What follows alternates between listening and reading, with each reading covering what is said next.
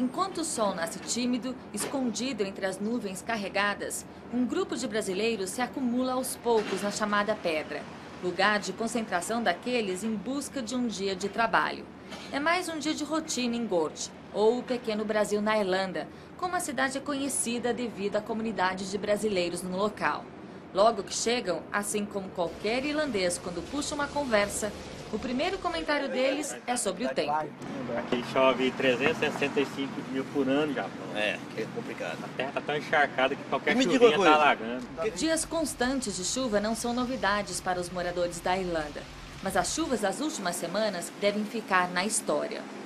As chuvas deixaram cidades inteiras alagadas, com o nível da água chegando a mais de um metro e meio nas áreas mais atingidas no sul e no oeste do país.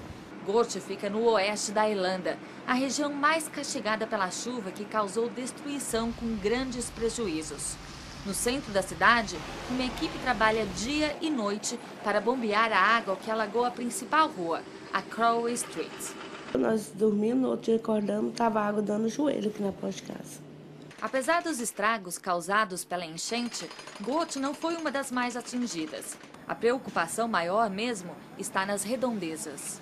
Gote está praticamente ilhada. Essa região, que fica a menos de 2 quilômetros da cidade, está completamente alagada. Essa estrada, que mais parece um lago, é a principal via de acesso a Gote e foi bloqueada por tempo indeterminado. Para os brasileiros que se reúnem à espera de um serviço, o problema maior é que quando chove, as chances de trabalho são mínimas. É difícil, os patrões nem vêm buscar nós porque não tem nem acesso para chegar nessa cidade. Já tava crise antes, e agora que esse temporal que deu dentro desses últimos 10 dias, ficou pi- pi- pior ainda, né? A Irlanda foi um dos países mais atingidos pela crise econômica.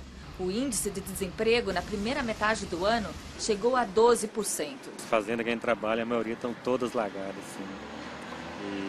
Os galpões onde põem os gados, as vacas e tudo, não tem como, não tem condições de trabalhar. Agora, além da falta de trabalho, os brasileiros também têm que se preocupar com o nível da água, que ainda sobe na região oeste do país. De acordo com a meteorologia, os dias de chuva torrencial ainda não chegaram ao fim. Até pensei de ir embora de medo, né? Minha família ligou, desesperado, não, vem embora. Mas apesar dos prejuízos causados pela chuva, há quem acredite que o mau tempo ainda vai beneficiar os brasileiros de certa forma. Vai precisar uma grande limpeza e este trabalho que, que não precisa uma habilidade específica, só mão da obra, só força. E eh, os brasileiros, graças a Deus, já têm uma ótima reputação como trabalhador.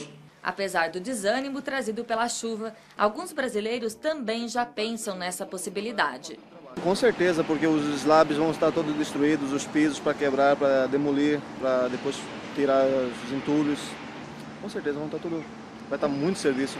Enquanto a chuva não dá uma brecha, uma loja de roupas usadas em Gosto está fazendo uma promoção. Uma sacola cheia de roupas por 2 euros, um pouco mais de 5 reais. I really wanted Eu realmente queria dar algo de volta para eles por todo o trabalho duro que eles fizeram, diz Emily Kilkelly, a gerente da loja. Divino Pereira da Silva foi um dos brasileiros que aproveitou a oferta e levou para casa uma sacola grande. Com essa comprinha que a gente fez, agora já dá para melhorar, né? Daniela Gross de Gort, para a BBC Brasil.